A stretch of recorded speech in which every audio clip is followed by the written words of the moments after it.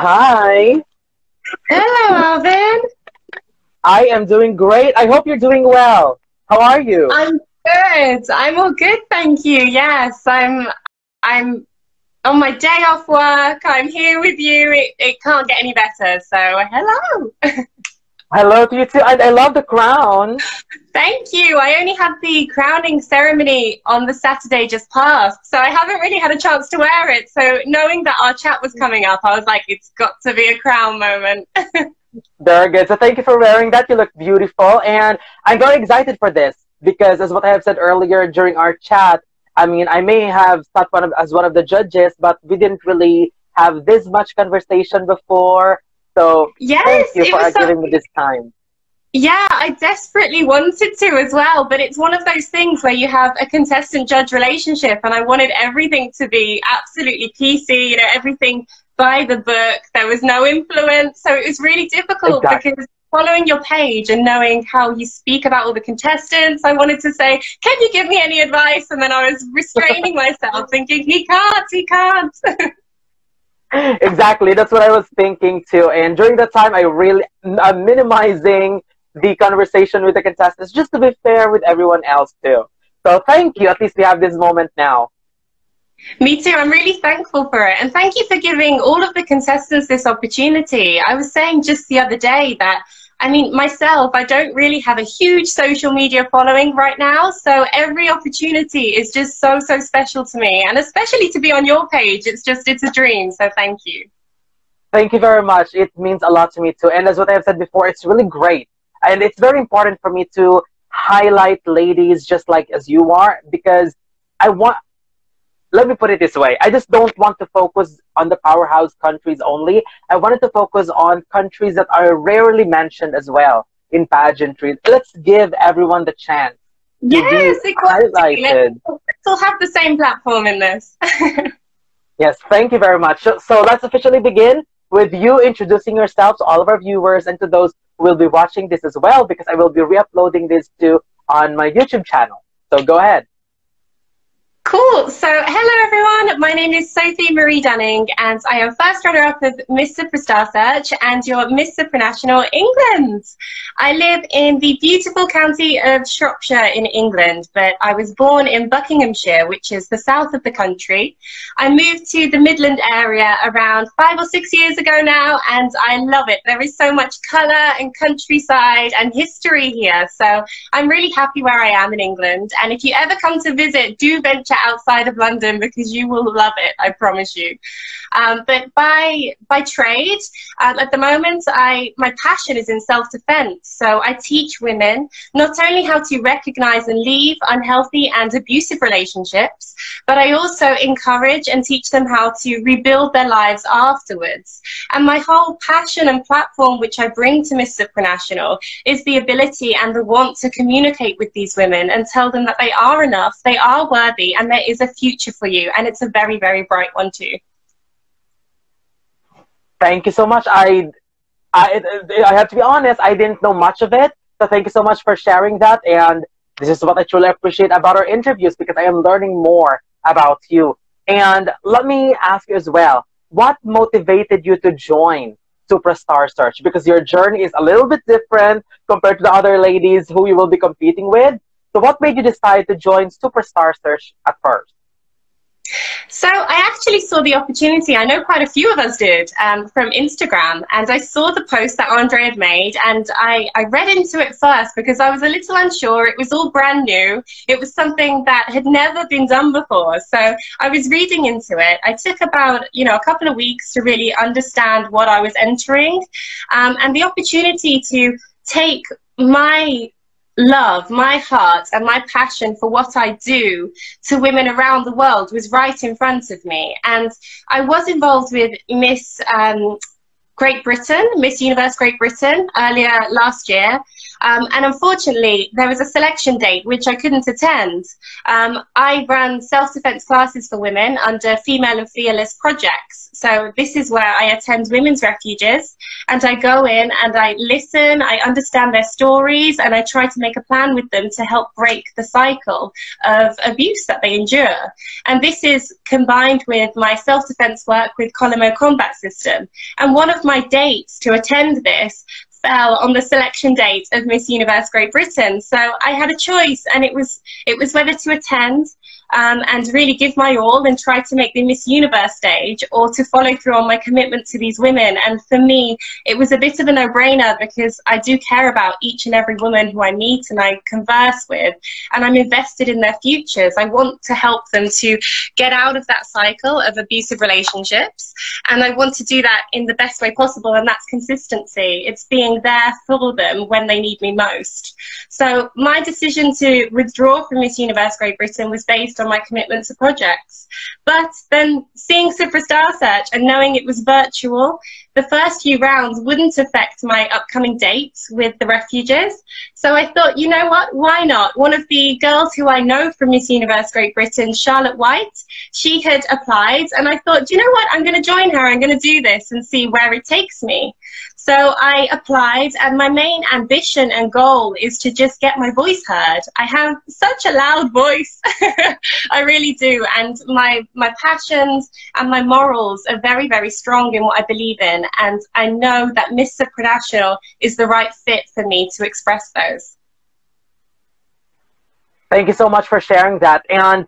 Um, I will be sharing this to you as well because we I have been only been talking to the judges before, I have told them, and I have to be honest with you, of course.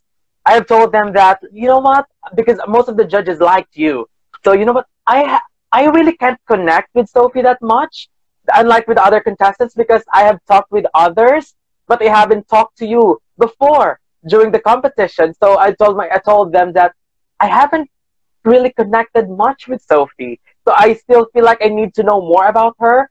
So that's why when you emerged as one of the final two winners, I was like, I was surprised in a good way, simply because I I realized that you were good for them. But again, as what they have said, I'm I'm not really sure. I just, I mean, maybe this is just me because I wasn't able to have that conversation with you. But after following your victory as the first runner-up in Superstar Search, I finally understood the reason why you won and seeing this as well. And this is why it's very important to have this conversation rather than just looking at you on the photos and on those simple videos because there's something deeper about you. So I was like, well, now I see the reason why she won. So apologies for that. And those are a little no. bit I, I completely understand, and um, I did feel it. Like I, I felt um, it, it was a difficult, you know, fight and challenge to do. Um, yeah, that's another reason because it's a very, very competitive match. Of course, yeah. And there were so many incredible women there, and they all had such strong messages. I mean, I've spoken to so many of them since the competition, and I mean, any of us could have been on that on that stage. Any of us could have been crowned. And I think, you know, it was very, very difficult for me to sort of work out how to express myself because when we when the superstar search started we were in full lockdown here and we were in full lockdown throughout. So i didn't see my parents i didn't see any of my friends i couldn't go outside. Um, i had all these amazing plans on how to sort of showcase my personality and who i am. And unfortunately i work so working 12 hour shifts i have to sort of manage my time and the time I had was all in the house because we could only go outside to work or to go food shopping. And I did toy with the idea of doing a catwalk down our local supermarket. And then I thought, I thought better of it in this time in the pandemic. It's probably not the best thing to do. Um, but I ended up using one of the places at my work, one of the meeting rooms, and they were so kind to let me do that because my options were so limited. I live in a very small house, um, and doing the catwalk and things like that in here, it just didn't feel as though I had the space to get everything in that I wanted to. but it definitely restricted me. Um, but as I've been saying throughout, especially since I won, I don't believe in excuses. I don't think that I can use anything as a setback. You know, I have the power to control my own life and what I put out. And there would have been a few things that I'd have done differently at the time, but it was all brand new. The the lockdown itself was so mentally challenging and all I wanted throughout was just that that hug with my mom, which I couldn't have. But again, I just pursued through it and um, when it, it was announced that the top two was myself and Nyesha, it was I mean, it was a shock. Everything had gone so quickly, and the interview came straight after it. After all of the challenges, it was that night. I'd got home from work, threw some more makeup on. It was a bodge job, and I was there live uh, with with Andre. So it all went so incredibly quickly. But I'm thankful for the opportunity, and knowing I signed up to do everything myself just sort of pushed me further. And although it was just a virtual competition, it was a great preparation for you because, as what I've said before, you are competing with a lot of amazing women in that batch. So imagine emerging as one of the winners. That's already a great preparation for you for the upcoming Miss Supranational 2021. For sure. I think, you know, a lot of things about the competition um, and the challenges, who I met, the conversations we had, all of that stuff uh, kind of gave me hidden tools that I'd need for the this upcoming international.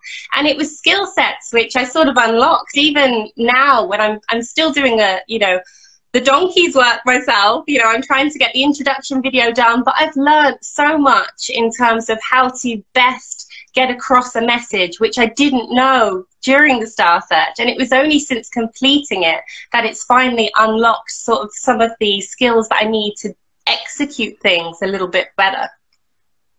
Very good. And I'm pretty sure that the orientation before was there's going to be only one winner. Yeah. So walk us through about your overall emotion when you were announced as the first runner-up. I mean, just one more step I could have gone to Supranational. I think you know at the time. Um, so when it all happened, when Nyesha had her interview, um, I couldn't watch it live because I was at work. So I ran to my friend. I had a message from Andre actually, and he said, "Do you have a moment to chat?" And so I ran to my friends and I just said, Do you have any? Because I, I didn't have any makeup on. I was just there, you know, just pure me. And I said, Do you have anything? Do you have any lipstick or something I could put on? Any foundation? And she said, I've got some Vaseline. so I quickly put some Vaseline on, had a quick check on Instagram moments before the call, and I saw that Nyesha won. So it was a real mixture. It was a cocktail, really. It was a cocktail of elation for Nyesha because she's she is the purest soul. And you can see that in all of her profile, in all of her videos, in what she said to us all as fellow contestants. Everything was love and light. So I was incredibly happy. And it was only after that initial feeling I was like, oh no, but that means I'm not going. And for myself. My whole ambition and purpose for being here is the bigger picture. I want to speak for people who can't speak. I want to be on that stage and encourage women to take a proactive step in getting out of bad situations and knowing that there's there's light at the end of it. You know, you don't have to stay in a situation that you're not happy with. And it doesn't matter if it's only teetering on unhealthy or it has gone down the, the burrow of abusive, there is always a way. And I want to help and show them that, that message. So all of those things are sort of going round in my mind. And five minutes later, I was on the phone to Andre. So it was just a, a flurry of emotion. And it was lovely to see his face though, because he's so welcoming and he's so kind. And he said, you know, I'm so sorry. And my heart broke a little, but I was so happy for Nyesha. It was, it was 50-50, you know, in how I was feeling. I hadn't quite processed. And then he dropped that I was first runner-up, Miss England, and going as well. And I was like, what?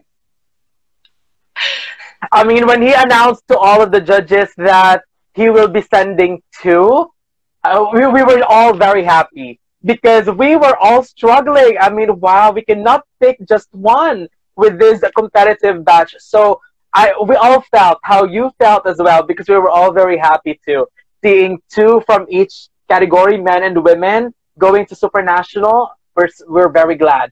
And I'm pretty sure that you four, both the men and the women, are going to bring something in the competition. You're going to come competitively because, as what I've said, all the trainings that you've got, all everything that you've went through has truly prepared you for Supranationals 2021. I, I truly hope so, and I believe so. I was, um, I mean, when I look back at the things that I did during the Star Search, um, and when I look at where I am now, I, I can see myself growth. And I think, you know, when it comes down to social media, there's good and bad of social media. There's, you know, it is a highlights reel and i think i never quite appreciated that before you know. I just posted what i was in the moment. I never really put much thought into um, staging and, and things like that but it is so important because your your goal is to inspire. You have to inspire people to want to do good in the world and that is presentation a lot of it especially on social media. So i increased my my lives with with, with other people. Um, I created Humanity from the ground up as part of the From the Ground Up project. Um, and speaking to other women, getting my voice out there and elevating theirs, I think has helped me raise my own social media game. But I'm, I'm really hoping that all of this just helps to propel me that little bit further in preparation for Miss Supranational. Very good. I'm pretty sure it will. So thank you so much for sharing all of those. And it, um, it's a privilege and an honor for us to be part of your journey in Mr. and Miss Supranational. Now, after you were crowned and up to now, what has been your preparation so far when it comes to your catwalk, interviews, and all the other preparations that you're doing for the pageant? I mean, it's oh. less than two months now. It is, yes, eight weeks. So um, yeah. Uh, it's been so much. Um, I don't know where to start actually, but um, I mean, in terms of wardrobe and styling, um, I've finally been able to go shopping, um, which I haven't shopped in a very long time. But one of my one of my biggest um, sort of messages, I suppose, in preparing a supranational wardrobe is to think of the environment. So I'm making sure that I'm sourcing clothes responsibly and I don't want to be overzealous in taking a lot of different things with me that I might not wear. Um, and I want to be able to mix and match things. So I'm working on a lot of pieces which I can put, say, tops with different skirts and trousers, different heels. So I want to really showcase that you can be eco and fashionable at the same time. So that's been quite a big focus from my point of view in terms of styling.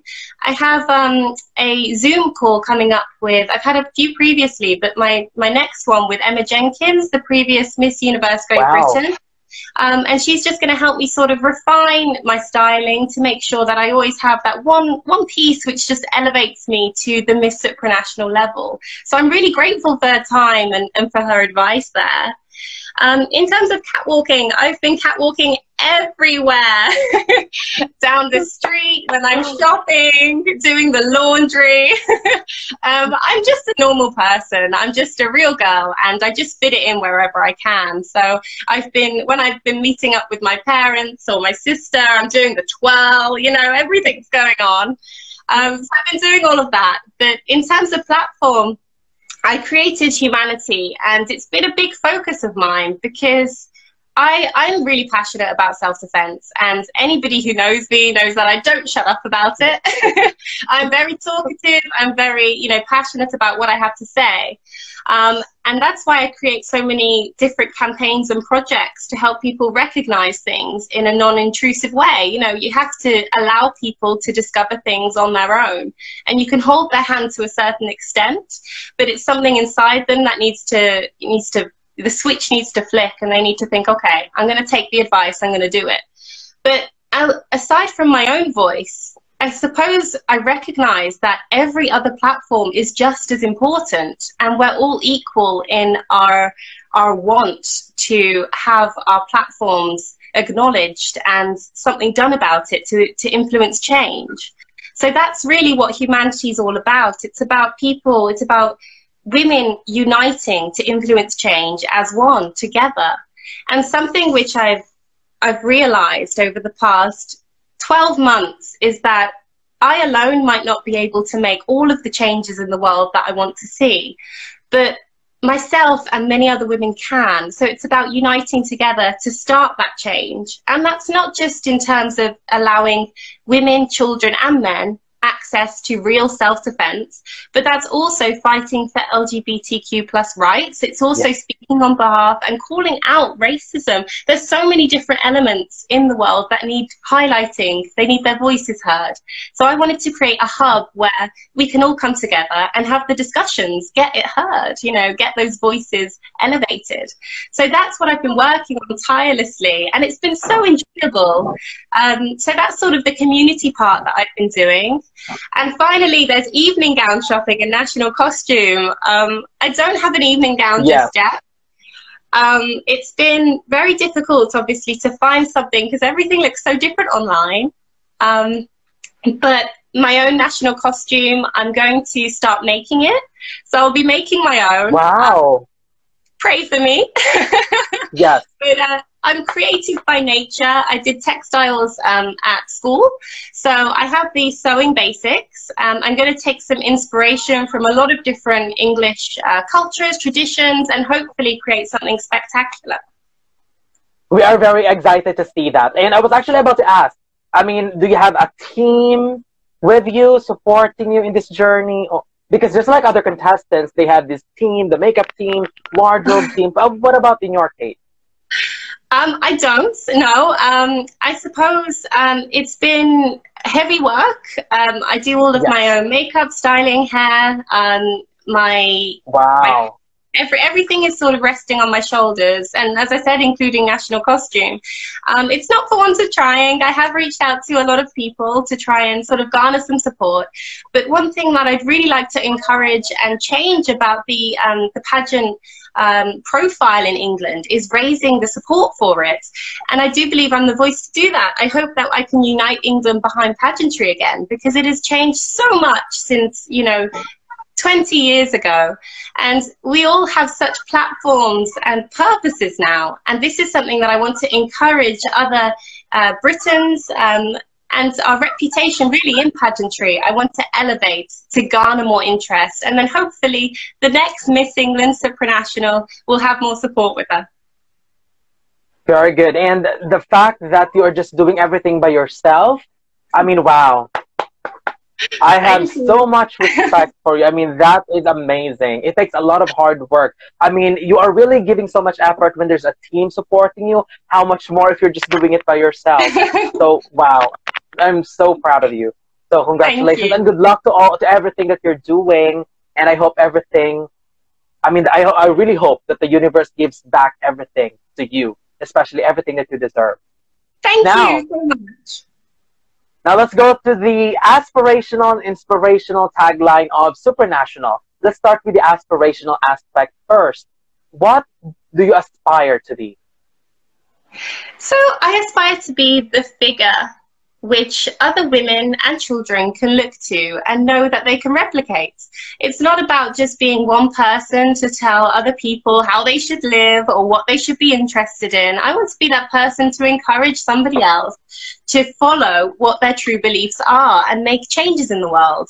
And in my my way of doing that is to show, demonstrate my own changes. So becoming Miss Supranational to me would give me such a vast opportunity and access to women from all different countries to not only reignite their own passions, confidence, and self esteem, but also to encourage them to follow my fem- female and fearless projects. So, my latest one is the CAT system. This is um, just a simplified way of encouraging women to be more alert and to take their self protection seriously. And the more people who can follow this and teach other people to then follow it, it creates a ripple effect. And it's that ripple effect which tells every single woman that you too are exactly the same as a Miss Supranational. You just need to take an interest in your own passions, believe in yourself, unlock your confidence, and do something which you know in the future the world is going to be thankful for. So it's being that one figure who creates an army of other role models. And that's something I truly believe I can do through Female and Fearless and humanity. Very good. Great answer.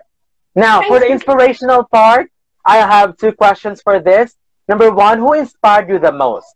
And number two, how do you think you could inspire people based on your based on your life experiences? So I take uh, inspiration from a number of different people. I always have. I think that to grow as a person, you have to be able to look at others and look at what they're doing and giving back to the world. So in terms of my own personal um, sort of ethos, my work ethos, how I want to live my life. I look to um, huge icons such as RuPaul Charles. I think what he has done for the drag and LGBTQ plus community is incredible. And he's done it with such kindness and devotion. And so those two qualities are something I always want to embody. I always want to treat everybody I meet with respect. And I always listen to their stories. And I think if we all do that, the world would be a such more inclusive and kinder place to live. My other inspirations are Kate Middleton. I adore her. She's our Duchess of Cambridge. Her humanitarian work is outstanding, and she is always such a grounded person. She is humble, and her humility speaks volumes. So, those qualities, again, they're things which I constantly, unconsciously adding into my life. I always try to take situations humbly and never be, you know, too up in the clouds, keep my feet on the ground. Um, and thirdly, my mother. I am so, so lucky to have such a strong family unit. And as I said before, throughout the competition, all I wanted to do was just have a cuddle.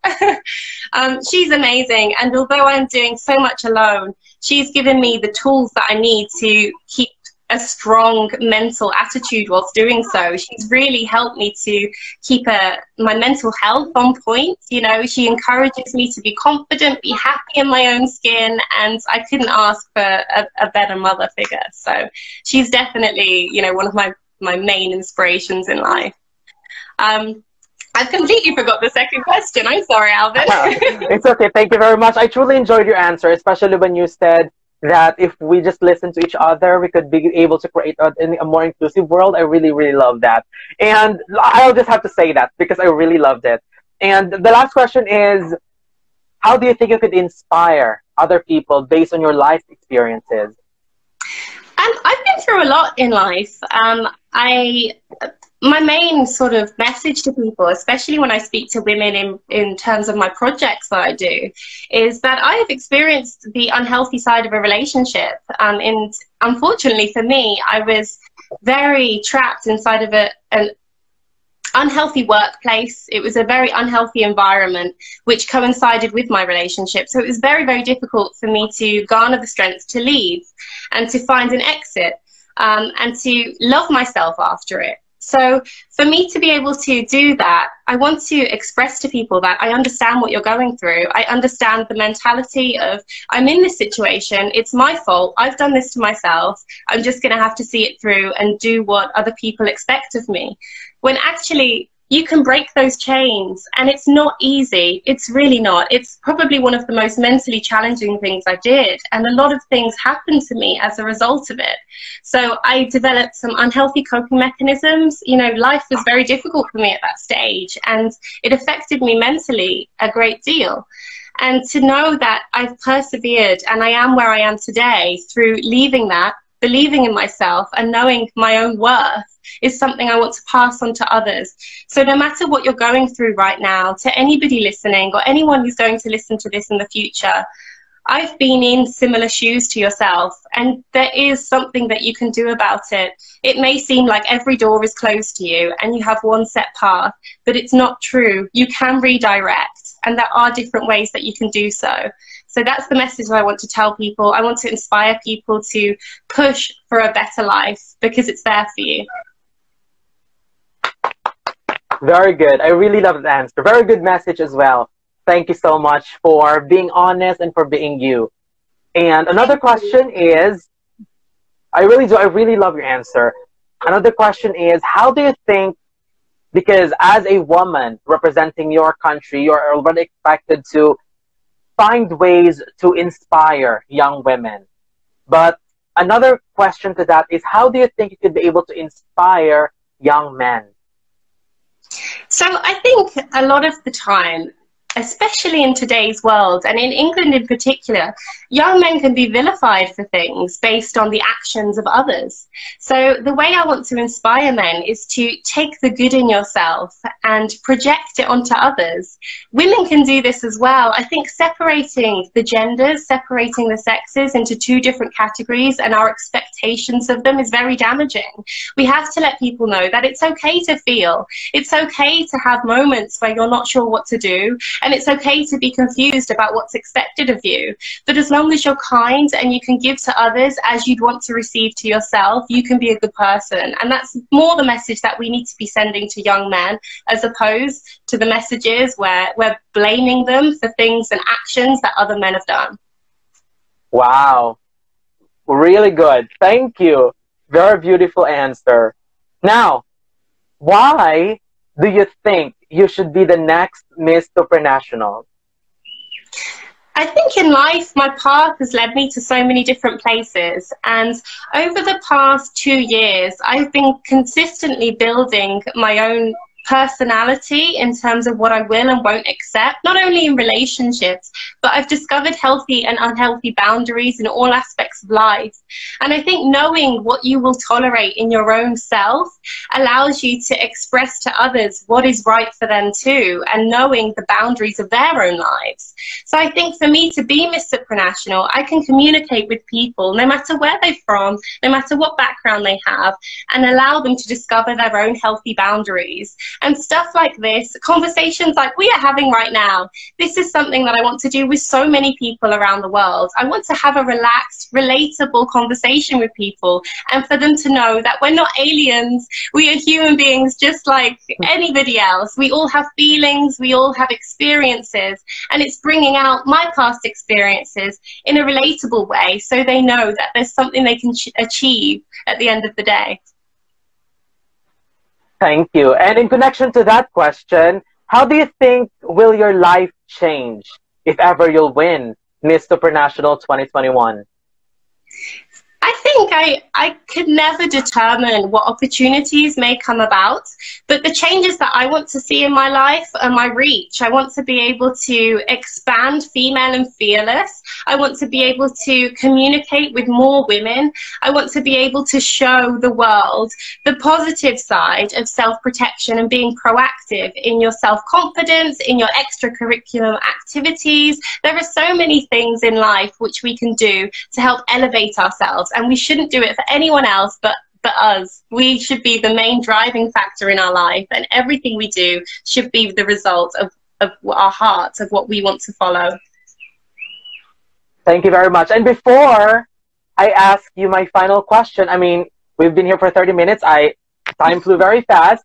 But before I ask you the final question, let me just say I haven't told this any I haven't said this comment to anyone yet.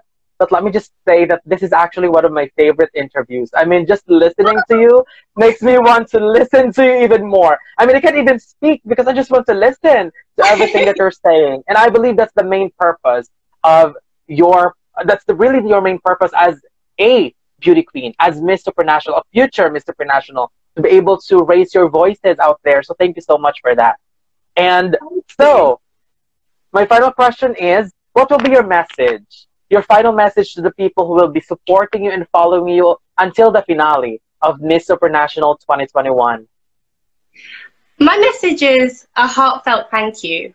I think in life, so often we can get so wrapped up in ourselves that we forget to just take a moment pause and be grateful for what we have.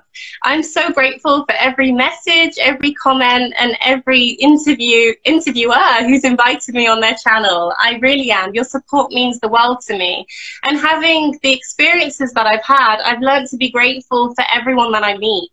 If somebody's unkind to you, just think it's not you that being unkind to. Something might have happened that day, that year, an extraordinary event might have just happened or a tragedy which they're not happy about. But never let it affect your Zen, never let it affect who you are and what you can give to the world. Always be kind and always be grateful. So, my message is just a huge, huge thank you to everybody who's wished me well. And I really hope that I can do you proud on the Miss Supranational stage this year. We're confident that you will. So, Sophie, thank you so much. I have really learned so much about you today and this is actually the connection that I have been looking for. And it's okay, I understand, simply because we didn't really have this much conversation before, but thank you so much for giving me this moment. I I know this is just a quick interview, but I feel like I have known much of you already. So thank you very much for this. I truly appreciate that. And all I wish for now is hopefully everything will be amazing for you as you prepare for your Miss Supranational journey. And hopefully all your preparations, especially the things that you're doing by yourself, will be done successfully. Thank yeah, you fingers so much. crossed. Yes, yes, fingers crossed. Cross your toes, cross it all, Alvin. Yeah. But thank you so much for inviting me on, and it's been so nice to just talk to you. We'll have to get grab a coffee and have a Zoom date sometime because it's been so oh nice. Oh my gosh, I just enjoyed listening to you, and I really, really mean that. I just feel like, I, as what I've said, I feel like I can listen to you the entire day. So thank you so much. Thank you. Enjoy the rest of your day. You too. Thank you very much. Bye-bye. Bye.